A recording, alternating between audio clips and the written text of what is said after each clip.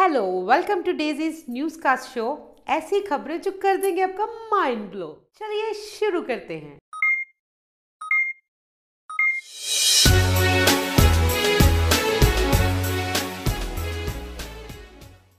पहली न्यूज़ आती है केरला से। केरला का एक कपल जिनका नाम है जाहद और जिया दे आर प्रेग्नेंट आप बहुत सोच रहे होंगे कि इसमें हैरानी वाली बात क्या है? तो हैरानी वाली बात यह है, जो जाहद है वो एक पैदा लड़की हुई थी जो उसने अपनी एज के बाद जाके अपना सेक्स चेंज करा के लड़का बन गया।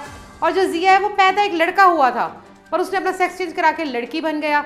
तो उन्होंने शादी की, पिछले दो साल से इकट्ठे रह रहे हैं। जो जाहद है, वो बॉर्न तो एक लड़की थी, पर अब वो लड़का बन चुका है। और जब उसने अपना सेक्स चेंज कराया, अपनी ब्रेस्ट रिमूव करवा ली, पर यूट्रस वहीं पर था, इसलिए वो फिर भी माँ बन माँ बन सकती थी कि बाप बन सकती थी। मतलब कुछ भी तो वो प्रेग्नेंट है। सारे इंडिया में, सारी दुनिया में बहुत वाह वाह वाह वाह वाह हो रही है। पर मुझे एक चीज़ का बहुत शक है कि अगर आपने एक ऑपोजिट सेक्स के साथ ही रिश्ता रखना था, लड़का बन के, लड़की बन के करना वही सब कुछ था तो सेक्स चेंज क्यों कराया मतलब मेरे समझ से बाहर है। एक लड़की जो लड़का बनी, एक लड़का जो लड़की बनी और वो दोनों मिल गए और एक दूसरे से प्यार करते और बच्चा पैदा करे। मतलब गाइस बहुत ज़्यादा कन्फ्यूज़न है, बहुत ज़्यादा कन्फ्यूज़न है। आप सोचो कि आपको ये चीज़ समझ आ रही है कि नहीं आ रही, आपको फिर से बताती हूँ। लड़की बड़ा होकर लड़का बनी, लड़का बड़ा होकर लड़की बनी दोनों मिले, दोनों ने प्यार किया, शादी करी। अब जो लड़की, लड़का बनी थी, वो माँ बाप माँ बाप कुछ बनने वाली है। नेक्स्ट खबर आती है उड़ीसा से। उड़ीसा के जगत सिंहपुर के कॉलेज के बाहर एक नोटिस लगाया गया, जिसके नीचे प्रिंसिपल के साइन थे। तो हर कॉलेज में नोटिस लगता है तो इसमें हैरानी वाली बात क्या? हैरानी वाली बात यह है कि उस नोटिस में लिखा गया था कि फोर्टीन ऑफ़ फेबरी जो कि वैलेंटाइन डे है, उसमें हर लड़की को अपने बॉयफ्रेंड के साथ ही कॉलेज आना पड़ेगा। उसके बिना उसको एंट्री नहीं है और अगर कॉलेज में आके अपने बॉयफ्रेंड को लेके आ रहे हो तो प्रूफ के साथ आपको थोड़ी टाइम पुरानी रीसेंट पिक्चर अपने बॉयफ्रेंड के साथ दिखानी पड़ेगी। तो ये नोटिस बोर्ड आया है और ये सोच के मैं इतनी हैरान और परेशान होगी क्योंकि गाइस हमारे टाइम में ये सब कुछ क्यों नहीं होता था? हमारे टाइम में अगर ये वैलेंटाइन वाला होता चक्कर तो ओहो, लड़कों की तो ऐश ही लग जाती, मेरे पीछे तो वैसे ही कितने तो सबने कहता आ हाँ हमारा बॉयफ्रेंड हमारी गर्लफ्रेंड बन जा। साथ में ये भी सोचने वाली बात है कि जो पेरेंट्स हैं, जो स्ट्रिक्ट पेरेंट्स होते हैं, जो स्कूल का ऑर्डर बच्चों को जान, दे दे के, दे दे के कहते हैं कि आपने ये करना ही करना है तो वो अब क्या करेंगे? वो अपनी लड़कियों के लिए बॉयफ्रेंड ढूंढेंगे, या लड़कियों से पूछेंगे, बेटा, आपका बॉयफ्रेंड है तो हमें बता दो। बहुत ही उलझन वाली बात हो चुकी है बॉयफ्रेंड लेके जाना पड़ेगा। मैं आपको ये क्लियर कर देना चाहती हूँ कि प्रिंसिपल ने एंड में बता दिया है कि ये सिग्नेचर मेरा नहीं है, ये सिग्नेचर मैंने नहीं किया, ये एकदम फेक सा नोटिस है जो लड़कों ने किया होगा वहाँ पर। पर फिर भी अगर ऐसा कुछ हो जाए तो क्या लगता है आपको? जितने भी इंडिया के सारे स्कूल्स कॉलेजेस हैं, उन्होंने धरने पे आ जाना था कि हमारे कॉलेज में ऐसा क्यों नहीं जहाँ पर लड़कियों के बॉयफ्रेंड के साथ आना चाहिए। नेक्स्ट खबर फिर हमारे केरला से है। केरला के कसरागौर में एक अजीब सी घटना घटी है, जहाँ पर पता चला है कि एक चोर ने ज्वेलरी स्टोर में जाके हार चुरा लिया। और सबसे हैरानी वाली बात है, वो चोर कोई और नहीं। चूहा था, चूहा चूहा। यस वो चोर चूहा था। सीसीटीवी कैमरे में सारी वीडियो आ चुकी है, जिसमें चूहा आया, थोड़ी देर तक ज्वेलरी शॉप में बैठा, उसने काउंटर में ऐसे नज़र घुमा घुमा के देखा और जल्दी से नेकलेस लेके शुरू हो गया। सबसे पहली बात तो मेरे दिमाग में है कि किसी ने चूहे को ट्रेनिंग दी होगी। कोई चोरों का ग्रुप होगा, उसने चूहे को ट्रेनिंग दी होगी। फिर मैंने सोचा, नहीं यार, ऐसा नहीं हो सकता। चूहों को ट्रेनिंग नहीं दी होगी।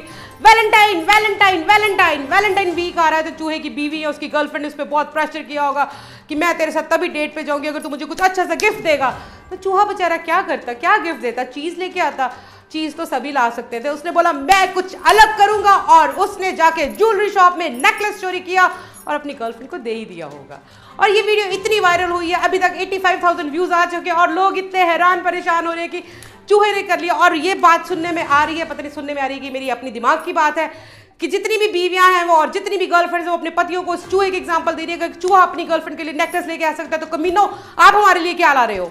नेक्स्ट न्यूज़ सुनने से पहले अभी कभी मैं आपको ऑर्डर करती हूँ मेरा चैनल सब्सक्राइब करो। अगर चैनल सब्सक्राइब नहीं करोगे तो गाइस मैं आपको न्यूज़ नहीं सुनाऊँगी। गलत बात है मेरा चैनल सब्सक्राइब को आपका कुछ नहीं जाना यूँ करना है। मेरा बहुत कुछ बन जाना है। तो प्लीज़ चैनल सब्सक्राइब कर दो। नेक्स्ट खबर है हमारे बिहार से। सब कहते हैं, एक बिहारी सब पे भारी, पर यहाँ पर एक बिहारी के ऊपर ही बहुत कुछ भारी पड़ गया। ये एक लड़का कॉलेज में एग्ज़ाम देने गया और जब वो कॉलेज में एंटर किया, उसने देखा वहाँ पर आसपास 500 लड़के एग्ज़ाम देने आई है। बेचारा देखते ही बेहोश हो गया। जी हाँ इतनी लड़कियों को देख के बेहोश हो गया। उसके हॉस्पिटल में लेके गए। हॉस्पिटल में जब रिपोर्टर्स ने पूछा कि भाई साहब, बेटा, आपके साथ क्या हुआ? बेहोश कैसे हो गए? तो वो बेटा तभी कुछ नहीं बोल पाया। उसकी माँ ने बोला कि इतनी लड़कियाँ देख के घबरा गया। तभी मैं कहती हूँ, बचपन से लड़के और लड़कियों को कोर्ट स्कूल्स में डालना चाहिए, नहीं तो ऐसे ही अंजाम होते हैं। वैसे उस बेचारे की कोई गलती भी नहीं है, क्योंकि जब मैं अपने 2018 में मिस ब्यूटीफुल बॉडी 2018 बनी थी, जब मैं प्लस साइज़ के कॉन्टेस्ट में गई थी, वहाँ मुझे तीन दिन 50 लड़कियों के साथ रहना पड़ा था। ओहो हो हो सच में बता रही हूँ मैं खुद डर गई थी एक लड़की हो के पचास लड़कियों के बीच में तो वो तो बेचारा डरेगा ही। तभी मैं कहती हूँ, लड़कों को भी लड़कियों की तरह इंपावर करो, उनको को लड़कियों से डरना नहीं है। जो डट के एग्ज़ाम देने हैं। समझ गए मेरे दोस्तों, मेरे मित्रों, मेरे व्यूअर नेक्स्ट न्यूज़ आती है आंध्र प्रदेश से। आंध्र प्रदेश में मकर संक्रांति को बहुत धूमधाम से मनाया गया। जैसे कि हम पंजाब में लोहड़ी को मनाते हैं, बताया जाता है वहाँ पर एक लड़का अपने ससुराल में मकर संक्रांति मनाने गया और उसके ससुराल वालों ने उसको 379 डिशेज लंच में परोस के दी। जी हाँ 379 डिशेज जो कि एक रेस्टोरेंट के मेन्यू में भी नहीं होती। तो गाइस मैं यही आपको कहना चाहती हूँ, देखो उस लड़के की कितनी इज़्ज़त हुई अपने ससुराल जाके। और आजकल के लड़के, आजकल के लौंडे बीवियों के पीछे ऐसे लगे हुए हैं कि घर जाते हैं, उनको ढंग से कोई पूछता भी नहीं है।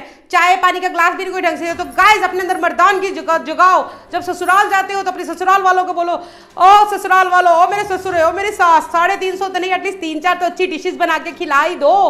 मैं जैसे खुद ही गाँव की पैदाइश हूँ तो जब मैं छोटी थी, तब हमें सुनती होती थी कि लोग कहते थे कि अगर एक गाँव में किसी का भी दामाद आए तो वो एक घर का दामाद ही, वो पूरे गाँव का दामाद होता है और सारे के सारे उनकी सेवा पे लग जाते हैं। आजकल दामाद बेचारे जब घर आते हैं तो गाँव वाले, मोहल्ले वाले क्या ससुराल वाले नहीं पूछते। और हमारे यहाँ पर थ्री सेवेंटी नाइन पकवान तो कौन बनाता होगा?